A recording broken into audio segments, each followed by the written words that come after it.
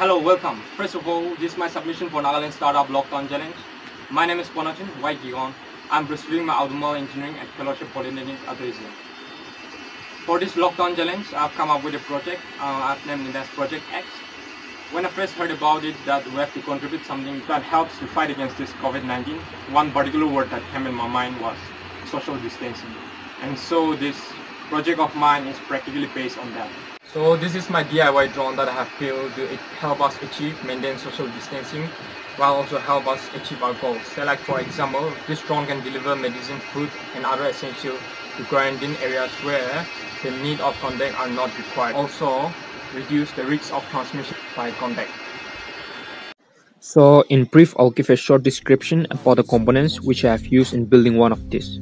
There are quite a number of components and drone out there you can build according to the purpose which you are gonna use it for. For radio transmitter, I'm using FlySky i6. It's quite good and handy and FS-iA6B 6 channel receiver and that's quite enough and I like it because it gives a good range of 2.47 GHz. For flight controller, I'm using DJI Naza M Lite. 1000 kV brushless DC motor and 30 ampere ESC with propeller size 1045. To power up this drone, we have 3500 mAh lithium polymer 3S battery that can take a flight up to 15 minutes. At the lower compartment, we have the storage, the red cross where the medicine will be stored and will be delivered without contact by just a push of a button. This drone can lift a weight up to 600 gram. So now I'll show a demonstration of this flight.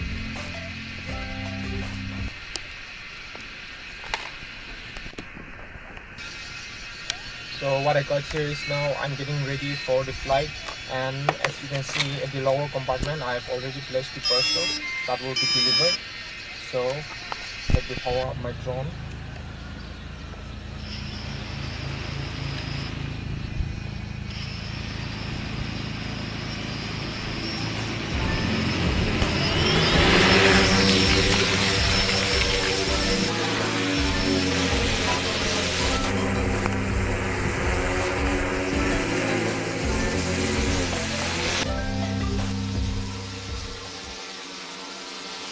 So when it reaches the destination for delivery, the parcel will be disengaged by servo at the press of a button from the RC remote.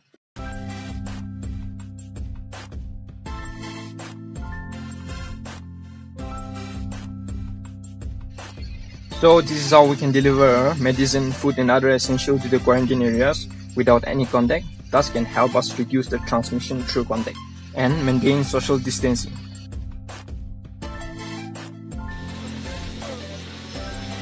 With further upgradation, other than medicine, this can be used for food delivery system for local restaurant and with proper equipped camera, this can be used as a surveillance drone. Until then, stay home, stay safe.